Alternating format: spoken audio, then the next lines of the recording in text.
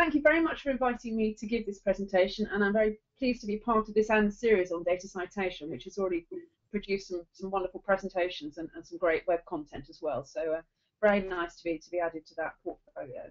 So I'm going to spend a little time at the beginning just explaining about the data archive and its collection to give you a little bit of an overview, and then I'll move into talking about the data citation methodology that we've chosen and implemented at, at the data archive. Okay, so uh, based at the University of Essex for quite a long time now, over 40 years, and spent selecting, ingesting, dealing with a variety of social science data sources, and I'll explain a little bit about where they come from in a minute. So we've been designated by our National Archives as a place of deposit, which means we can hold public records. And a lot of the data that we bring in and the support services that we provide support um, higher and higher and further education, research, learning, and teaching. So we kind of really can support any data user, but our, our primary target audience is higher and further education although that um, includes also many other researchers who are who wanting to use social science data. And more recently, last year, we went through a, a long process that enabled us to uh, to gain the Information Security Standard ISO 27001, which means we can hold disclosive data. Um, and that was a, a, lot of auditing and a lot of work, um, but it, it, means we're, we're a trusted digital repository in that sense. Excuse me for the, the slow action. Right, so just a little picture of where we are so you get a flavour. We have got a very nice green campus with buildings that were, were built in the 1960s and some of the towers you can see they're actually listed buildings. They're, they're ugly but they're listed. But um, our campus is, is based on an Italian village called San Gimignano. It just doesn't quite look Italian or medieval, but it's a nice place to be. And we have a brand new building that was uh, built about three years ago, uh, dedicated for, for the data archive and for the social research centre that conducts our panel studies in the UK. And, and that's our nice building on the right there. So uh, just give you a flavour of what, what we look like. So uh, just to say, this, this is the data archive. This is the data archive website. Um, this is our data archive website. Uh, you can go and have an explore of that later.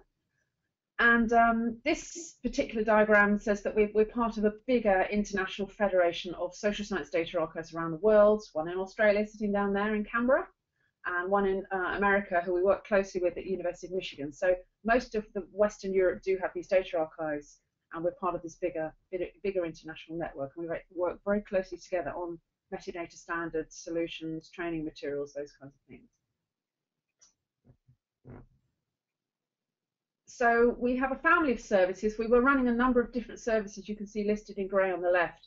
From October the 1st, we have a brand new grant, a five-year grant uh, called the UK Data Service that brings all of these data services together under one roof. And uh, we're currently being rebranded, so we don't know quite what our identity looks like at the moment, but it will wrap in all of these support services that support all kinds of social science data in, in the UK.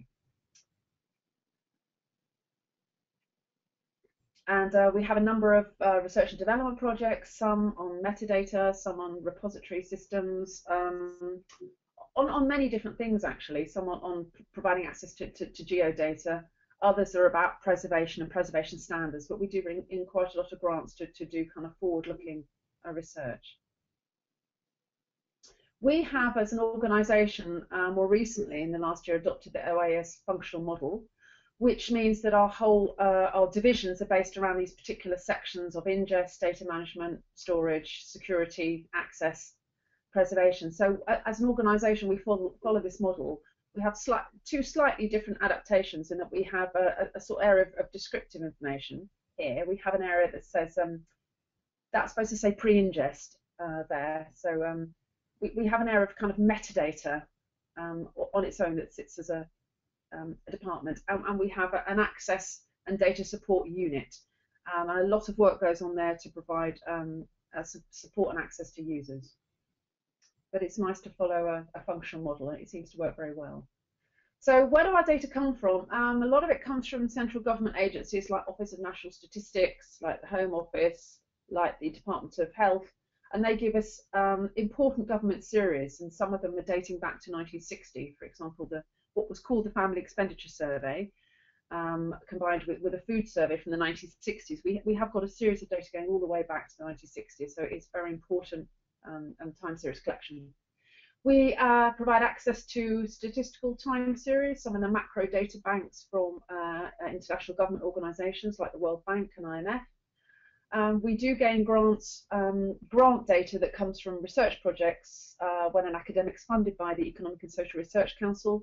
As part of their grant, they have to offer data. So there's a stream of research data coming in, which can be anything from surveys to qualitative data, um, sets of interviews, psychology experiments, um, many kinds of, of, of very vast, um, vastly different data sources actually. Uh, we collect data from market research agencies, polls, do have some historical sources, uh, historical databases, and records going back to the, the 14th century. And of course, we, we do facilitate access to data in all the other data archives around Europe. So if somebody wants data from Finland, we can help them acquire that. And just give you a picture of what we do, there's about 6,000 collections, uh, 6,000 data sets in our whole collection we add about 230 a year. Uh, we've got about 20,000 or so registered, active registered users, and uh, probably download something like 60,000 data sets a year. We have a lot of uh, activity in our users support unit. So that's the kind of um, size that size that we're looking at. Uh, we've also, on the other side, done quite a lot to try and promote uh, use of our data. So we've got a whole website here that tells you about what people are doing with data. And they're kind of short one-page descriptions on what data you used and what you did with them. And uh, I think there's about something like a um, hundred in there at the moment, and they they span between the purple ones are research and the blue ones are teaching. So they're a nice they're a nice promotional tool to, to, for producers and for users to see kind of what's happening. So you can go, go and explore some of those if you want to get a flavour of what people are doing. So uh, back to back to the topic of data citation. Um, for many years, as part of our end user agreement for actually accessing uh, data through through our online system, you've had to acknowledge um, the original source. And there's a statement there, which is part of the end user agreement number nine, that says you'll acknowledge in any publication uh, the original data creators. Now that is a contractual agreement, and people are supposed to do that, but it's very hard to enforce because um, even though we provide a, a, a, method of citation, people don't necessarily do it that well, um, particularly when the titles of, of the data sets are complicated. And um, so just to show you there, we give, we, we've always given information, um, citation information as, as a separate file which tells you that you have to cite the data like this. So we've always had a, a way of doing that, actually even from the 70s, quite early on. Um, but of course, this is different from an acknowledgement. It is a citation, um, and an acknowledgement, many people are using those. They're not adequate, as we know, for, for citing data, and uh, this is why we've moved to a more robust system of citation. So you all know why we should cite data. I'm sure you've seen some of the wonderful presentations from beforehand, but it, it's about acknowledging the, the author's creativity and sources and, and, and, and, identity as well. Helps you find data, helps promote reproduction of research so you can get back to original results and, and, and play with them. It, um, it allows the impact of data to be tracked. We now know that if you put a, a, DOI into into Google, you can just immediately kind of get some some uh, idea of what's happening to the data and it provides a, a, good structure, which which I think uh, data creators will feel that they that, that, there's more incentive to, to deposit data now that there's more of a kind of reward structure. Um, so there's lots of positive things. Um, so our wish to use persistent identifiers was going back some time, and uh, you know we, we wanted to use them, and for us, you know, we've already got URLs, we've already got citation, we wanted something a bit more permanent uh, and unique, and um, our, our the definition of digital objects was the thing that took us longest to kind of uh, decide what exactly what we wanted to do. But it should it should be very clear what the granularity is. Um, and also, as we know, there's a lot of identifiers being um, being applied to many different things. And uh, as you probably know, if you haven't, you can go and get an ORCID ID already, which gives you a unique ID for yourself as a, as a researcher or somebody as part of an institution. So the, this idea of permanent identifiers is, is very important across our whole community particularly for, for long-term data providers.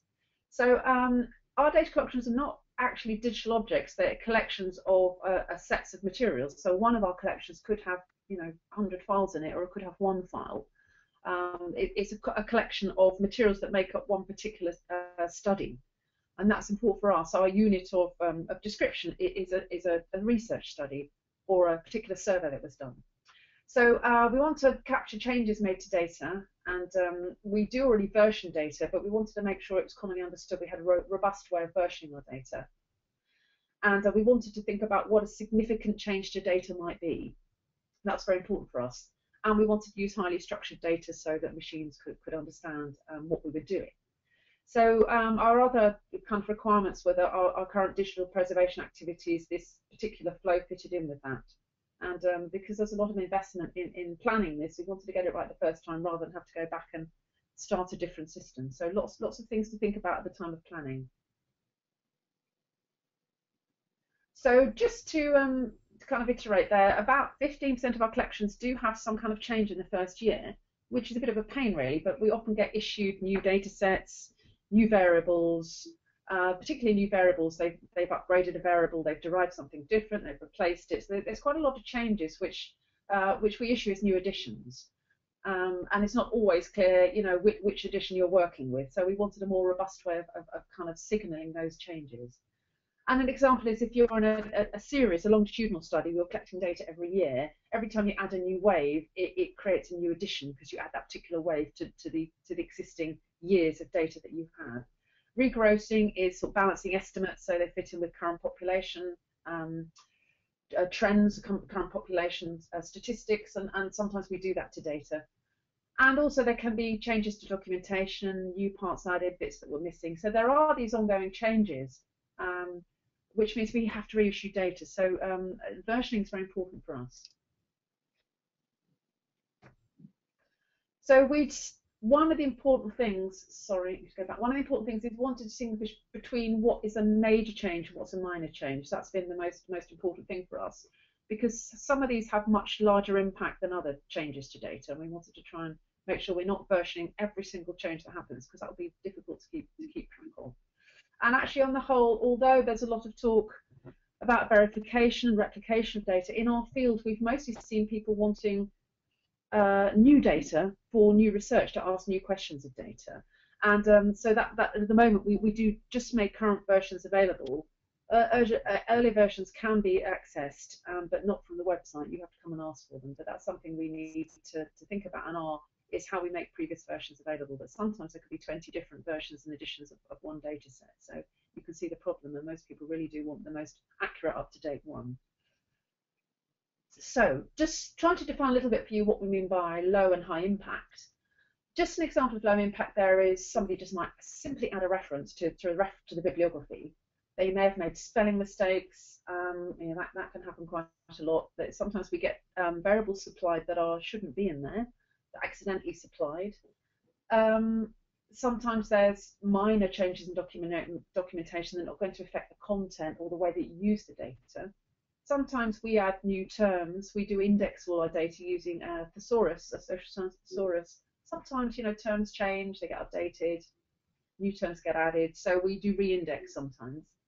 Um, and then sometimes we add little extra bits of documentation because they, have come about. And sometimes there's a change in access condition if you're changing from maybe data under under public license to to a, a more um, restricted license. So that there can be changes in all those kinds of things to, to think about.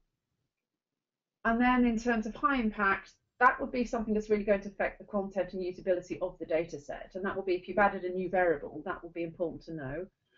Um, we might have new uh, new value codes. So somebody might have actually um, changed the way in which they're, they're giving the, the different options for the data.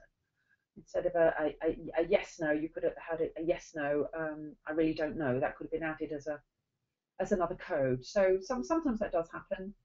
Um, sometimes the weighting variables that help you kind of balance a, a, data set have been have been changed. The statisticians who, who own a government survey might have done a lot of work afterwards, and these changes are not available till till they've actually given us data.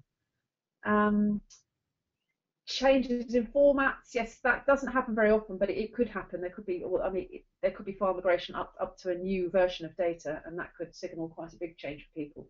So they're the kinds of things that we we want to distinguish between, and, and that's very particular to our, our sorts of data. But some of those have relevance to, to other kinds, you know, scientific data, other kinds of data about what's really important and what's not so important for you to think about. So um, the next step was trying to find an instance of, of a change collection. What is this collection and how's it changing? So um, we do make various changes to data, and uh, they, they might be internal changes that, that happen at the, at the, point of ingesting data, and we don't particularly release those changes. which will for us be something that changes internally but not, not externally. What's more like to happen is there's low impact changes where we release the change um, and we have a, um, a, a, new external instance that's got the same um, identifier because it's not important enough to change it. we have a high impact change where we release a new data set and we decide that it, it's, it's worth having a new um, identifier. And I'll show you what these identifiers mean and, and how they change.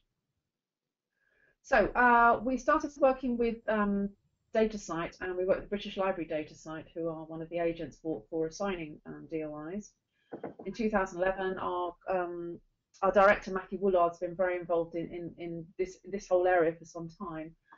Um, and I, as you probably know, DataCite has been founded for some time. It, it established its own format for citing data, and it works quite closely with data publishers to try and sort of promote the idea of data citation. So not only does it provide a methodology and issues DOIs, it was also doing quite a lot of advocacy in this area. So, um, what's a DOI? I'm sure most of you do know, but it's about persistent identifica identification of, of objects, of digital objects string of letters and numbers, nothing, nothing that complicated, a systematic string of letters and numbers. And um, subscribers who, who want to, to get DOIs basically join um, DataCite and they get access to uh, to DOIs that they, they can get you know once they've once they've got a contract and then these um, these particular records end up in the, the, their metadata store and resolver system. And there seems to be I'm not sure how many last count I think in May there was about 1.3 million objects in there. There's probably a lot more now. And of course, there's other handling systems out there, but we've actually chosen to go with a DataCite because we work very closely with our British Library on, on many other areas. So, um, how are they created? So, um, as a data publisher, which is what we are, we register and obtain DOIs, we mint them, we have a system for doing that with our own infrastructure uh, for dealing with metadata, and we use the API to, to, to, get the DOIs. And it's actually a fairly straightforward process. And I'm not going to go too much into the technical side today. But um, so think about what do you want to allocate your DOI to. It's got to be allocated to some kind of object or something. Something that's got an identity. We actually use um, our core metadata as the the the um, the thing that relates to the data collection. So you think, okay, core metadata, title, this is the name of a particular study. That should be quite straightforward. It's not always straightforward because sometimes the titles of the studies change, which one might not expect. But um, it may be that, that, that one of the government departments decides it's, it's changing the name completely and we need to somehow reflect that change. So our solution is that we have um, metadata is the is the um, the object that our DOI um, identifies, and that's a, an external instance. So it's representation of one of our data collections at a particular particular point in time. So when you get a DOI and you type it in somewhere, it, it resolves to a jump page, which actually lists all the history of the changes to the data set, and then that then points um, to the, the catalog record where you can go and get data. So there's a kind of front page that gives you the, the change, the, the change log. and as I said before, um, high impact changes denote a new DOI. So showing what this looks like, um, for example here, this is a DOI on the left. I'll, I'll show you the structure of what ours look like. And hypothetically, it, it's a study number SN, study number 2000, version 1. This denotes a study number that's got this is a survey that's been continued over 13 years. It's got waves 1 to 13. And this is an instance-specific data set, so it's, it's, fixed in one point in time and it has its own um, accompanying metadata. The next step would be um, we've actually made a change. As you can see the, the blue box in the middle, we've added another wave. So that means we've changed our DOI, so it's a slash O2 now. And again, this is instance-specific data. It's actually a different data set. It's changed, uh, and it's got a, a different metadata record. And then finally there, we've added another wave, wave 15. Um, it, it's changed, the DOI is now changed, it's an 03, instance-specific metadata. When you go to our jump page, you will see that, that history, but you will be taken to the most recent version of data because at the moment that's what our data want. Uh, that's what our users want. They, we don't give them instant access to some of the older waves 1 to 13 because actually for our kind of data, waves 1 to 13 is already available in waves 1 to 15, so you can still get at that particular data set uh, but it's something that, that we want to think about uh, about how we do provide access to, to previous um, previous versions. Right, so this is an example of our jump page. If you go to one, if I plugged in this DOI that's 10.525 slash there, I would get um, a little page that gives me a kind of potted history of what's going on. So it, it has the most recent uh, DOI change dataset version at the top, Python 3. It gives me the citation and the change log, so it actually gives you a very short uh, human description of what's happened. So in February 2012, um, we uh, for the third edition we added in um, wave two of the study. So you can instantly see the changes as you move down. You can see what the older data sets were. So it's quite a simple way of, of defining change and telling people what, what the versions are, are doing. And then uh, in terms of the way that we create and update DOIs, um, we will create, well, when we create a new catalogue record, so when we've got a new data set and we're ready to publish that, we mint a brand new DOI through data DataCite, we update that change log, and we create a new citation file because the citation's actually changed. Um, we have something that's part of our documentation called a, a, a citation file, which people can download, and it, and it gives you the way of citing data. Um, also, if we update a catalogue record by you know, implementing various changes, we decide whether they're high or low impact changes. We create uh, or update a new DOI. If there's a high impact change, we update the log and create a new citation file. So there's that process about bringing in new data sets and updating older ones.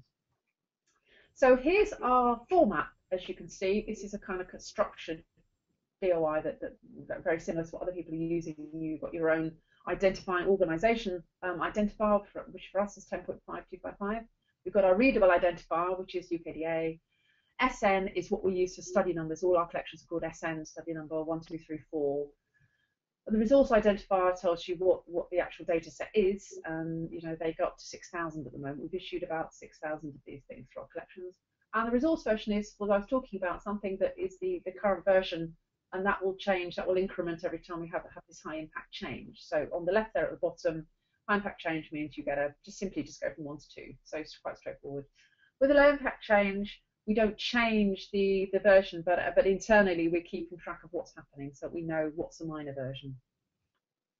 So we know that there's been a change, but it's not denoted externally. And just an example here of when we have a, a DOI, if I plug in the DOI at the top in, in the in the um, DataCite um, metadata registry or search interface, it will give me um, a link to the dataset, um, and then if I click on that, the bottom screen uh, tells me where the landing page is, so I can actually go and resolve to, to the jump page at, the data archive, and it gives me the citation there. Now we um, there's a standard way of citing with with um, with DataCite where you send up five fields and this is what's displayed, but actually for us this doesn't display version, and it's very important for us. So we're we're actually changing the way um, we're adding another field to, to the DataCite, um, the metadata we send up because that's important that that particular version is reflected in the in these fields. So the five core kernel fields that are used are not not exactly appropriate for our kind of data. So we need to add in resource type and um, and version, and we're currently doing that now. Every, I guess, collection is going to have slightly different requirements, and maybe versions are not always as, as important. So if you put the DOI into Google, um, you can immediately track what's happening to data, so you can get a good idea of who's who's actually citing that data, and that's a nice, simple way for us to try and find out who's using our materials. In the past, it's been very hard. We've been able to put sort of keywords like um, Health Survey for England into various Thomson Reuters indices to see who's using things, but it's a very manual way of, of finding out who's who's uh, who's using data. So we're hoping we can help track the impact of some of these data sets, and also, of course, identify the people, go to them and say, would you like to give us a case study? and then add that reference to our metadata, which we, we actually um, keep a list of secondary analysis publications for, for users. So it enables us to, to really add value to our catalogue records and to tell users, um, creators and users what's happening. So uh, we're very pleased that that seems to work very well. so just thinking about linking in different resources um, via, via metadata, at the bottom there, ideally, what we would like um, is some discovery portal that enables you to find data wherever it is. We don't currently have that in the UK, but there's various registries and kind of Uber portals that are working towards those things. So um, you can see at the top box on the right, Specialist Data Repository, that's what we are.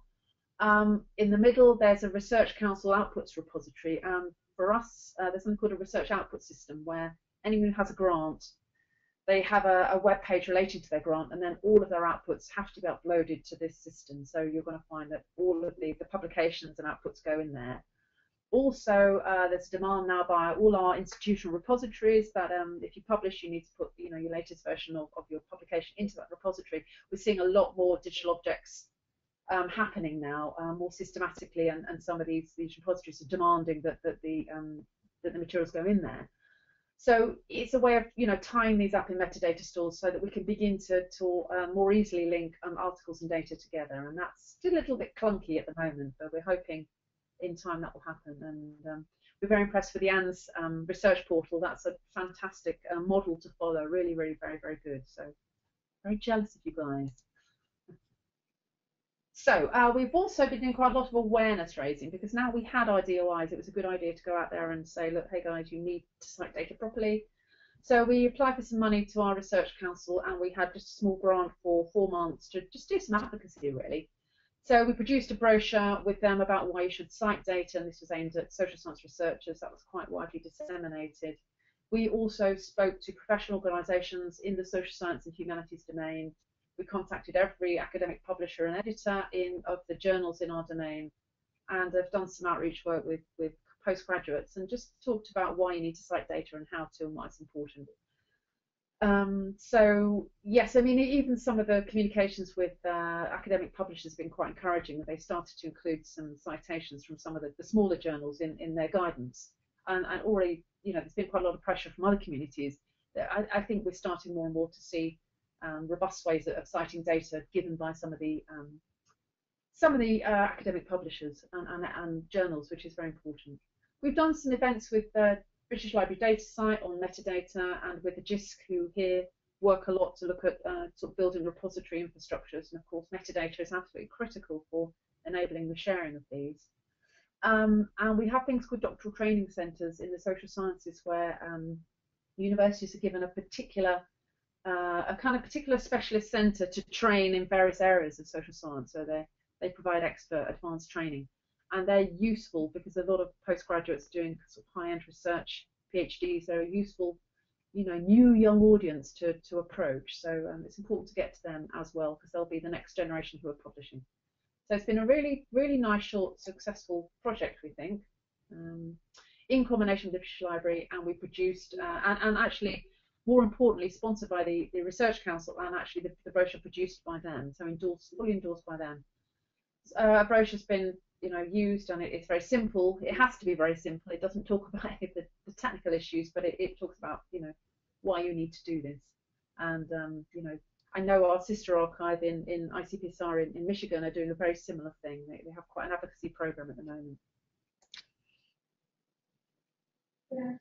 So, uh, um, so our DOIs, uh, you've probably recently seen the data citation index that's been released, and uh, we're very pleased to have been included in that particular um, system. I think 20 repositories have been indexed. That's going to be starting up a part of the Web of Knowledge.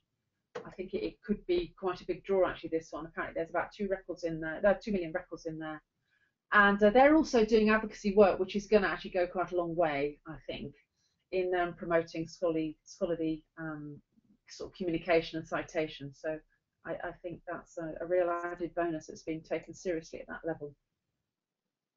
Um, and I know Heather um, referred to this this last week, which is an example there of data citation index um, and what it all looked like. It'll pull up metadata records and, and show you what the collections look like. So I'm not sure how it's going to work because I don't think it's live yet. I couldn't find a live site, but um, it, it looks sort of quite exciting, really. So what are our challenges for the future? We seem to have sorted out our data citation methodology. It seems to be quite robust. We haven't encountered any problems yet, um, apart from needing to change the way that, that the DataCite displayed some of our uh, citations. Um, we need to be thinking about parts of data rather than whole collections. And what does that mean to, to cite and have permanent identifiers for single files, for example, subsets of data. Uh, if you're getting data from an online system, and we have an online data browsing system called Nesstar that allows you to to browse and visualize survey data and create tabulations online. When you subset data or download it, how do, how do you provide a, a permanent reference to that particular part of data? and extracts of textual data. If you're looking at qualitative data, interview data, and you want to use an extract, I'm very keen on having a permanent identification of that particular extract, and that's the next challenge for us that we will be looking at in the next sort of six months, actually. Um, also thinking about creating better relationships between outputs, data and outputs, um, and also making sure that we're linking funding information to uh, grant outputs and, and, research outputs. There's quite a lot to do, quite a lot to do in terms of sort of linking and connecting and, and more more powerful granular citation. And I know there's other um, data centres in the UK um, that are also looking at, the, at, this kind of issue. So they're kind of some of the, some of the challenges that we, we want to be working on. And that really is um, an overview of what we're doing, and I'm certainly happy to ask questions um, on, on any on any any particular issue to provide clarification or show you more things on the website. So um, I, I, hope that was useful.